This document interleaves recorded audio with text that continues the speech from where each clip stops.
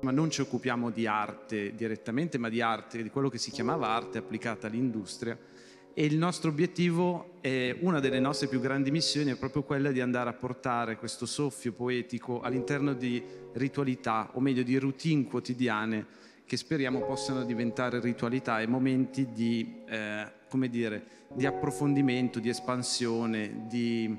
Eh, di amplificazione della nostra percezione della vita. Per cui questo piccolo tocco di, di, creatività e di fantasia che viene portato all'interno delle case e della quotidianità serve proprio a portare della felicità eh, in piccoli gesti che spesso rischiano di diventare molto banali e ripetitivi. Ma fare un progetto innovativo è una eh, attività mh, abbastanza rischiosa perché ti porta a indagare un, eh, diciamo, un campo che non ha certezze.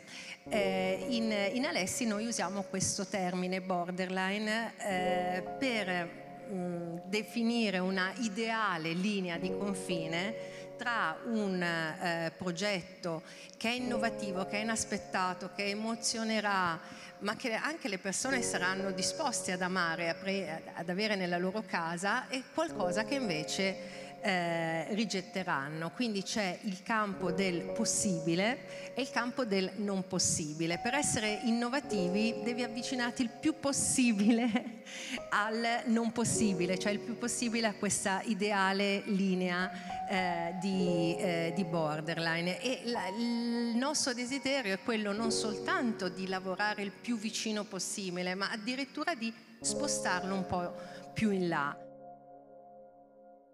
Thank you